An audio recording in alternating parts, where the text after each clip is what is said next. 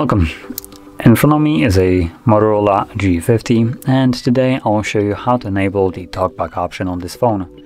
And to get started you want to open up your settings and then here scroll down to accessibility which is somewhere at the lower half of the settings page. And in the accessibility you will be able to find talkback which looks to be right at the top right here. Once you click on it simply want to enable use talkback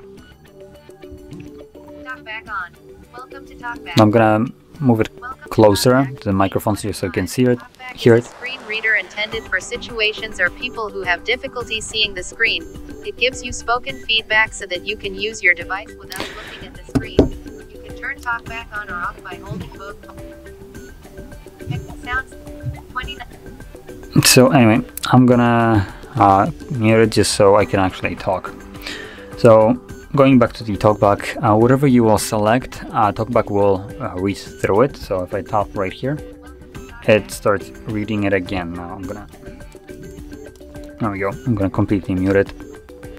So uh, you can tap on the things to select, and then the way you navigate through it is, for instance, you swipe from side to side, and it will go to well the next page, kind of like you would be pressing tab on your keyboard using Windows and then double click anywhere to basically confirm whatever is selected in green. Now every time uh, you select something by swiping, so as an example, by swiping right now, it selects next, uh, TalkBack will tell me what is selected right now. So if, for instance, next is what, I'm want, what I want to accept, I'll just double tap blindly on the screen and it will accept it.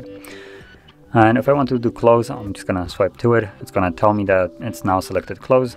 Double click it and give me close tutorial. Um, basically read this entire thing so I can now swipe through it uh, stay in tutorial then close again double tap it and it closes it now uh, that's kind of the general way of navigating the device.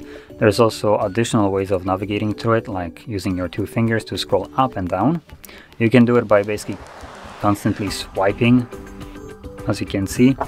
Uh, but assuming you don't want to do that um, maybe you actually can just somehow use the device also. I can use, like I said, two fingers to navigate if you're using gesture navigation, which might probably not be the best way of navigating to the device with TalkBack. Uh, then you can use those gestures by just swiping with two fingers instead of one as you would normally do. So if I want to go back, which is the just swipe from the side, I'll use two fingers now.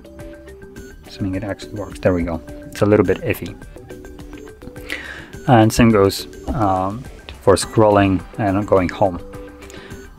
Now whenever you select something like I mentioned you can also tap on it, you don't have to swipe through it, you can just pick it yourself by tapping on the screen on a specific option and then double tap it to confirm it.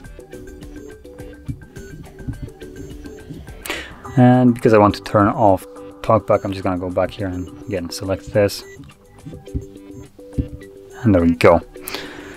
So anyway, this is how you enable it and generally navigate through it and I guess probably the most rudimentary way. I haven't really uh, doubled far into the talkback and all the settings that it has.